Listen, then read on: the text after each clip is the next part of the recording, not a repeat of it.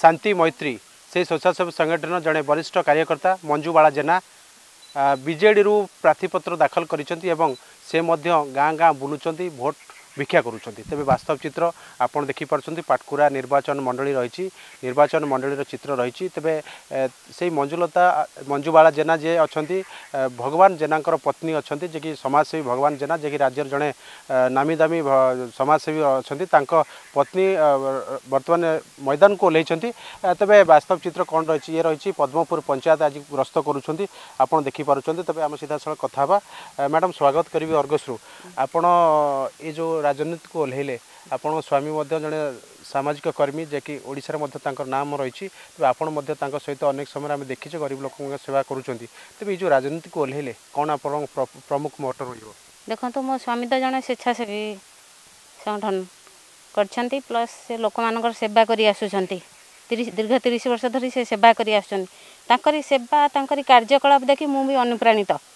ହେଇକରି ମୁଁ ବି ଓହ୍ଲେଇଲି ଏଇ ମଇଦାନକୁ ବିଜେଡ଼ି ସଂଗଠନ ମୋତେ ଯେହେତୁ ପ୍ରାର୍ଥୀ କରିଛି। ମୁଁ ବି ଲୋକମାନଙ୍କ ଗରିବ ଲୋକମାନଙ୍କର କିଛି ସେବା କରିପାରିବି ମହିଳାମାନଙ୍କୁ କିପରି ଆଗକୁ ନେବି? ଆଉ ଦେଖିବି ଗରିବ ଲୋକମାନେ ଅଛନ୍ତି ଯେତିକି ତାଙ୍କୁ କେମିତି ତାଙ୍କର କେମିତି ଉନ୍ନତି ହେବ ସେମାନେ କେମିତି ଆଗକୁ ଯିବେ ସେଇ ପ୍ରୟାସ ମୁଁ ଜାରି ରଖିବି ଆପଣ କେତେ ନମ୍ବର ଜୋନ୍ରୁ ମୁଁ ଲଢ଼ୁଛନ୍ତି? ଏଗାର ନମ୍ବର ଜୋନ୍ରୁ ଲଢ଼ୁଛି। ତ ଯେଉଁ ରହିଛନ୍ତି ଏଗାର ନମ୍ବର ଜୋନ୍ରେ ଅ- ଅନେକ ଅବହେଳିତ ବ୍ୟକ୍ତିମାନେ ଅଛନ୍ତି ଅନେକ ଅବହେଳିତ ମହିଳାମାନେ ଅଛନ୍ତି ବୃଦ୍ଧ ବୃଦ୍ଧାଠୁ ଆରମ୍ଭ କରି ସମସ୍ତେ ଅଛନ୍ତି ଯେଉଁଠି ଶିକ୍ଷା ସ୍ୱାସ୍ଥ୍ୟ କଥା କହିବା ଗମନାଗମନ କଥା କହିବା ଅନେକ ବର୍ଷ ଧରି ଅବହେଳିତ ଅବସ୍ଥାରେ ପଡ଼ିଛି।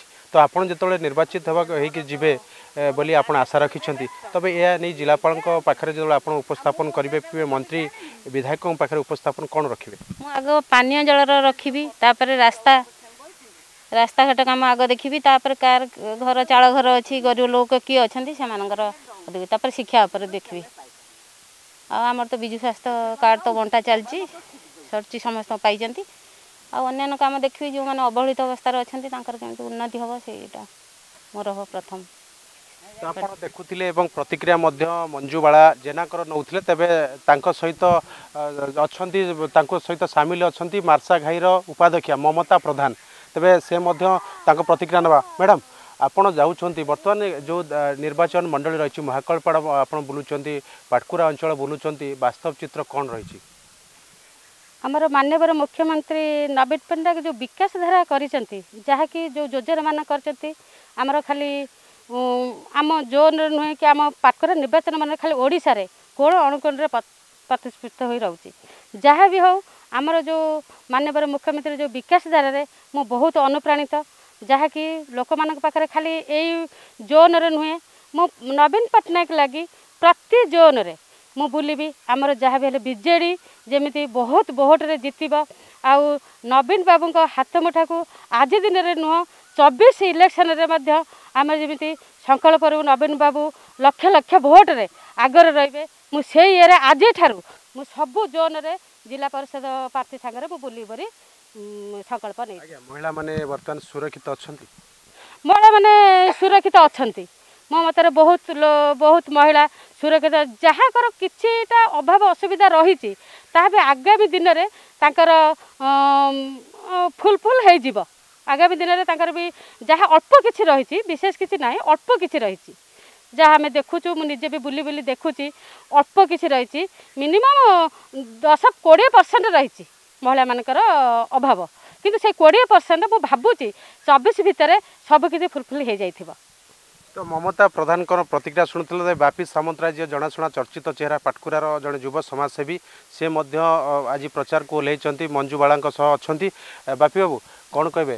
ବର୍ତ୍ତମାନ ଯେଉଁ ସ୍ଥିତି ରହିଛି କେମିତି ରହିଛି ବିଜେଡ଼ିର ସ୍ଥିତି କେମିତି ରହିଛି ପାଟକୁରା ଅଞ୍ଚଳରେ ଏବଂ ଆପଣ ଯେଉଁ ଦେଖୁଛନ୍ତି ଯେଉଁ ଅବହେଳିତ ବ୍ୟକ୍ତିମାନେ ଅଛନ୍ତି ଗାଁଠୁ ଘର ଅନେକ ସ୍ଥା- ସ୍ଥାନରେ କଚା ରାସ୍ତା ଏବେ ମଧ୍ୟ ପଡ଼ି ରହିଛି ଅନେକ ସମସ୍ୟା ରହିଛି। ଆପଣ କ'ଣ ଉପଲବ୍ଧି କରୁଛନ୍ତି? ହଁ ମୁଁ ମୁଁ ପ୍ରାୟ ଛୋଟବେଳୁ ମୋର ମୁଁ ବିଜେଡ଼ି ସହିତ ଜଡ଼ିତ।